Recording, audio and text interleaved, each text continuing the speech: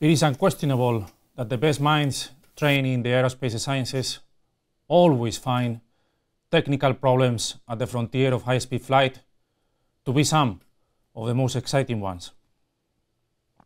An indescribable feeling of exhilaration has inundated many upon arriving at that frontier where the path followed before by others vanished in the horizon, where prescribed knowledge ended, where others turned back to safety where some perished while testing otherworldly aircrafts and spacecrafts, where stars were the only navigation beacons, and where life and death were separated just by the thin metal shell of a cockpit.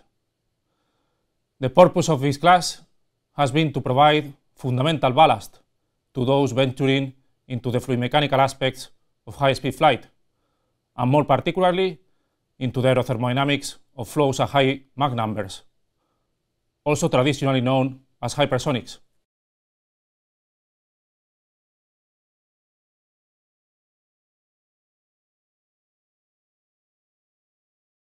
A famous quote often attributed to President Eisenhower says that the sergeant is the army. It is the sergeant, the one who masters the practical details of the battleground, and the one who disregards, as useless lumber, the strategies that do not bear any immediate punitive action in the field. Metaphorically speaking, one could say without hesitation that the engineer is to aerospace technology what the sergeant is to the military.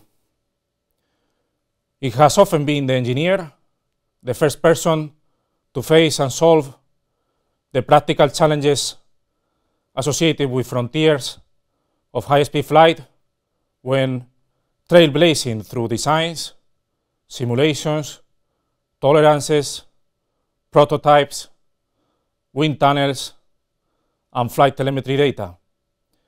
It is the engineer, as Professor von Karman once said, the one who creates the world that never was.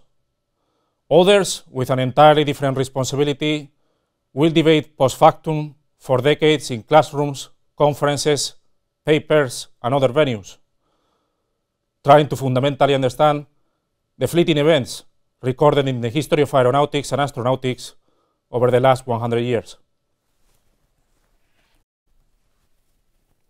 I am convinced that this class will help you to become familiar with the topic of hypersonics. We live in formidable times for human spaceflight, for the development of hypersonic machines that will fly faster than ever. And I hope that you will be part of all these exciting developments. I bid you farewell.